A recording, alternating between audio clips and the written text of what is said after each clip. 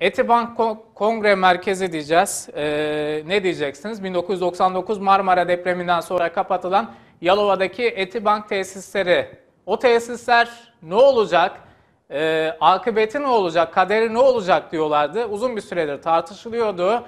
Etibank tesislerinin belli oldu. Orası üniversiteye bağlı bir kongre merkezine dönüşecek.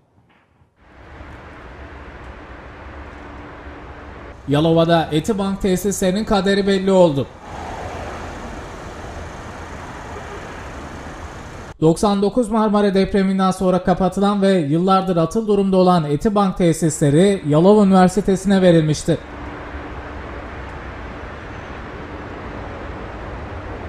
Yalova Üniversitesi tesislerdeki eski binaların yıkım işlemine başladı.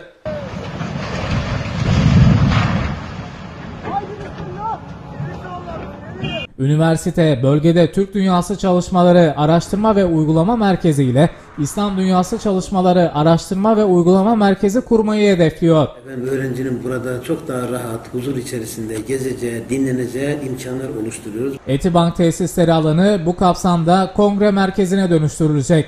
Başlatılan çalışmaların 2022 yılında tamamlanması bekleniyor.